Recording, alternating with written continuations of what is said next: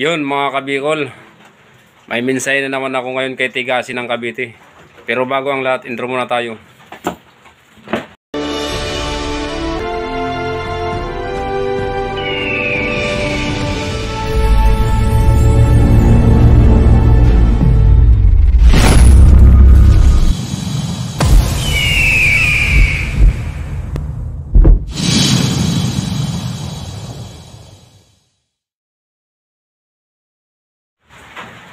Yun nga mga kabikol.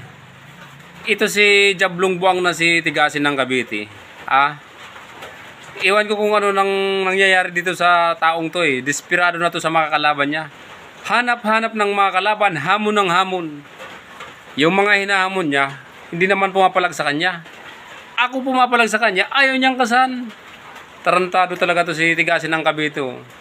Ano ba Tigasin ng Cavite? Kung mandirigma ka, kahit sino, papalagan mo. Huwag kang duwag. Palagan mo ko si Batang Kamsur. Pagkatapos mong amunin sila si Kiko Matos, hindi ka pinansin. Hinamon mo si Jasper Kaino, hindi ka rin pinansin kasi may ina ka rin na nilalang eh. Mabuti nga, papatulan kita eh, kahit may ina kang nilalang eh. Hinamon mo si Badboy ng Cebu. Hindi rin pumapalag sa iyo si Badboy ng Cebu kasi may ina kang nilalang. Tigasin ng Cavite, ah, Win Andrada.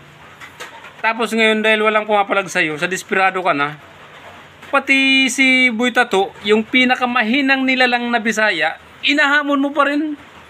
Anak ng tukwa naman tigasin ng Cavite. Oh. Ano ba nangyayari sa iyo? Alam mo tigasin ng Cavite ha? Si Boy Tato, isang pinakamahinang nilalang sa Team Bisaya. Kaya nga hindi nakasali ngayong season 3 sa Battle of the YouTuber kasi mahinang nilalang nga eh. Tapos yun pa ang gusto mong hamunin. Wala ka. Napakahina mo pala tigasin ng Cavite. Kung gusto mo tigasin ng Cavite ha, papaluasin mo si Boy Tato ng Manila. Hindi kakasa yun. Di pa palag yun. Kasi may nang nila lang yun. Ako, paluasin mo ako ng Manila. Wala pang 24 oras. Nandiyan dyan na ako. Hanapin, harapin kita. Doon, kay Tatang 50 Vlogs, pupunta tayo doon. Doon tayo magbasagan ng muka. Ah, larong magkaibigan. Yung basagan ng muka pagkatapos ng sparring natin, pili na tayong maging magkaibigan. Kung mapatunayan mo lang sa akin talagang mandirigma ka. Kung ikaw ang mandirigma ng Cavite, ah, tigasin ng Cavite.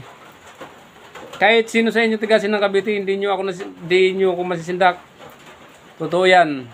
Kahit sinong street fighter dyan sa Luzon na mga kasamaan mo, ang mga taga Cavite. Wala. Sinasabi ko sa iyo, tigasin ng Cavite. Kung gusto mo talaga ng mapalaban, ah, ito sinasabi ko sa iyo, ako ang kasan mo, tapatan mo si Batang Kamsur. Huwag na si Boy Tato. Kasi may nang nilalang yun eh, kaya nga hindi nakasali ngayon sa ano eh, Battle of the YouTuber Season 3. Kasi napakainang nilalang nun, kahit sa akin nga, basic na basic yun eh. Hindi ako pagpapawisan dun kay Boy Tato. Sa totoo lang, sinasabi ko sa iyo, tigasin ng Cavite, kung gusto mo talagang mapalaban ng maaga-aga, ipiin mo lang ako.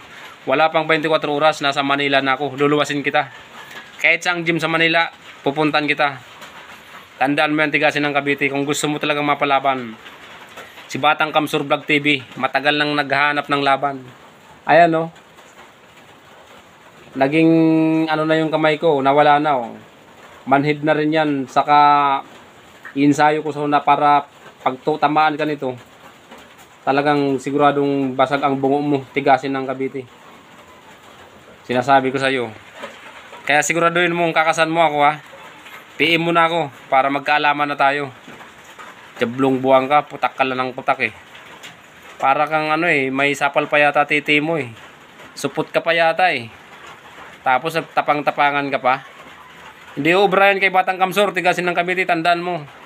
Batang Kamsur lang malakas, ang pinakamabangis na mandirigma ng Bicol. Batang Kamsur Vlog TV. Tandaan mo yan. Basic na basic ka lang sa akin, tigasin ng Cavite. Isa ka mong mainang nila lang kumpara sa akin. Hindi ako pagpapawisan sa iyo, sa totoo lang. Tandaan mo yan. Kulang pa ang ensayo mo. Wala ka pang napapatunayan ha. Wala ka pang pinapabagsak. Tandaan mo yan. Kaya kung gusto mo nang makalaban talaga, si Batang Kamsur, papalagan kita kahit anong oras. A few minutes later. Ako, tigasin ng Cavite ha. Ako, kahit baguhan pa lang ako magboxing, unang laban ko pa lang, sa unang laban ko pa lang, may pinabagsak na ako. Kaya napatunayan ko sa sarili ko na malakas ako. Hindi kagaya mo. Wala ka pang napapatunayan. Kaya huwag kang magyabang tigasin ng Cavite. Subukan mo muna si Batang Kamsur bago ka magyabang kung mapapabagsak mo ko. Ako, alam ko sa sarili ko, kaya kitang pabagsakin. Pero ikaw, hindi mo ko kayang pabagsakin tigasin ng Cavite. Kaya patunayan mo sa akin kung talagang mandirigma ka ng Cavite. Ako ang labanan mo. Hihintayin kita at tigasin ng Cavite. Jablong buwang ka. A few minutes later. At saka ikaw tigasin ng Cavite ah. Ikaw lagi kang ano, lagi kang pusta ng pusta kung ano-anong pinupusta mo ah, yung kisa yung mga ari-arian mo o kung ano-anong bagay ang ipinupusta mo. Ikaw sobrang yabang mo talaga no, kaya alam mo may pera ka lang eh. Pero ako wala akong pamusta tigasin ng Cavite, wala akong pera pero lalaban pa rin ako sa iyo ng pustahan. Kung gusto mo tigasin ng Cavite, pustahan, hindi pirang pupusta ko sa'yo. Ipupusta ko sa'yo yung girlfriend ko. Pusta mo rin yung asawa mo. Ano, papayag ka dyan, tigasin ng Cavite. Wala akong pira. Ano, siguro maganda yung asawa mo, yun na lang ang ipusta mo. Pusta ko rin yung girlfriend ko. Ano, kakasa ka, tigasin ng Cavite. Maganda yun. Siguro maganda rin yung asawa mo ano. Yun na lang ang pagpustahan natin. Wala ka eh. Puro ka kasi pusta ng pusta ng pera eh. Alam mong may pera ka. Ako wala akong pera pero magkipagpustahan ako sa iyo kung papayag ka. Yung asawa mo, yung girlfriend ko. Pagpustahan natin dalawa. Matuloy lang ang laban natin. Tigasin ng Cavite. Pag natalo kita, tigasin ng Cavite akin na yung asawa mo. Pero pag natalo mo ko, sa'yo na rin yung girlfriend ko. Ano? Kakasaka. Ngayon, malalaman natin kung sinong tunay na lalaki sa atin tigasin ng Cavite. Pag hindi ka pa rin kumasa, supot ka.